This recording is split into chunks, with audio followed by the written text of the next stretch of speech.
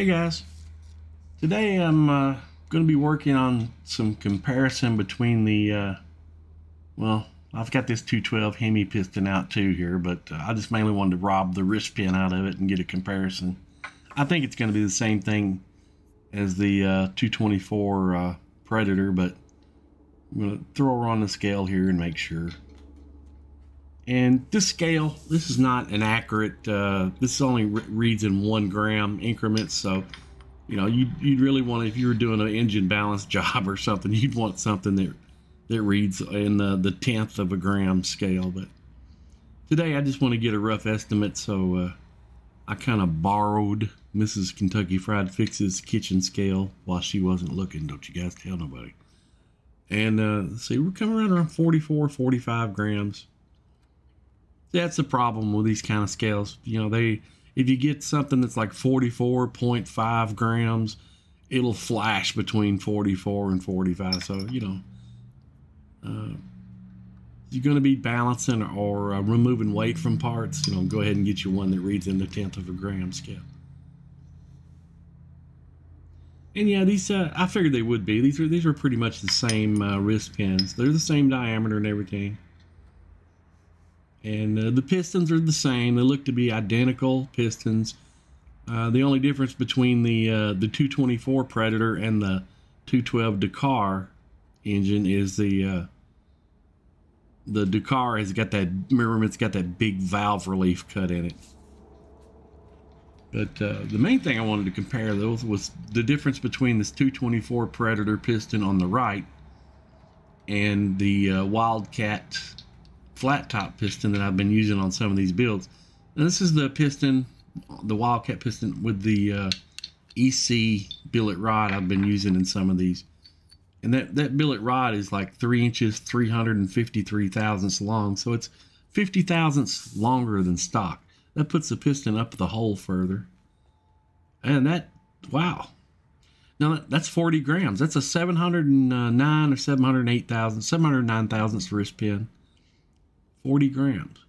The 224, well, now it's popped over to 44. So, you know, we're around four or five grams, probably a little over four grams lighter with the uh, Wildcat.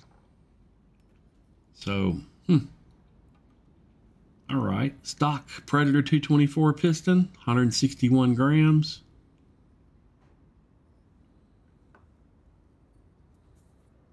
Now this is the stock Wildcat piston that we've been using in some of these builds. 135 grams. 135 grams. Now, I'll, I'll put all this, the math down in the uh, description, guys. You know, if you don't, you don't have to write all this stuff down. But uh, so far, yeah, the Wildcat piston is is looking a lot better. The uh, over this 224 Predator piston. And uh, it, has got a, a, let's see. Yeah. The wildcat pistons also it's got shorter skirts and it's actually made to run with a stroker engine. And a lot different design. You know you can see uh, on the the wildcat it's mainly got the skirts up front and in the back like the uh, like most motorcycles or most of the high performance motorcycles and uh, a lot of the high performance uh, automotive type pistons as well and uh, the 224 Predator, you know, it's piston. It's got uh, it's it's pretty much all. It's a rounded piston. It's got uh, uh, an area on the sides above and below the wrist pin that still hangs onto the cylinder wall. That creates some extra friction. You know, probably not a whole lot, but you know enough. That skirt difference is is pretty major too. That Wildcat's got a whole lot shorter skirt, and uh, I'll tell you what.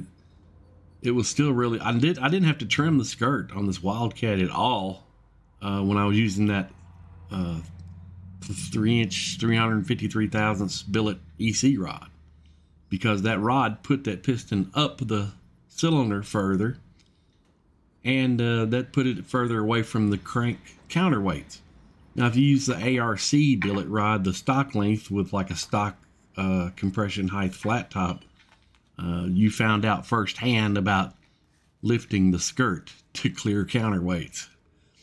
Now this is a different uh, piston. This is a this is a motorcycle piston. It's kind of rounded like that uh, Predator 224 piston.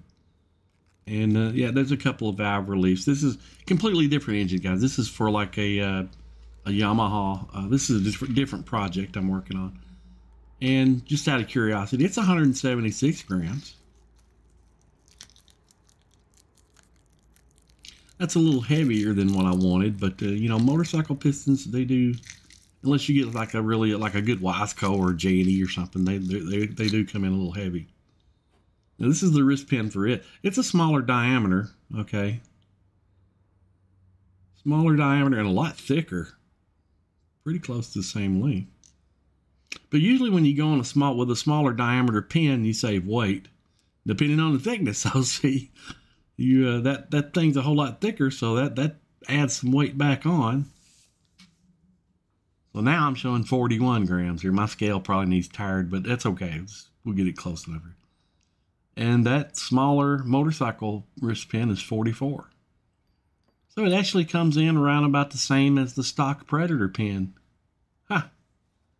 Well, that's interesting. This thing does have some good features. I mean, I, I like these uh, these cuts made onto the uh, the front and back of the skirt. I mean, that's for oil retention and stuff, and that that's good. That reduces friction, plus holds a little oil against there. A lot of similarities. Out of the pistons that's laying on the table, I'd say the Wildcat flat top is my favorite design. Well, that's all I got for today, guys. Thanks for hanging out with me. We'll see you next time.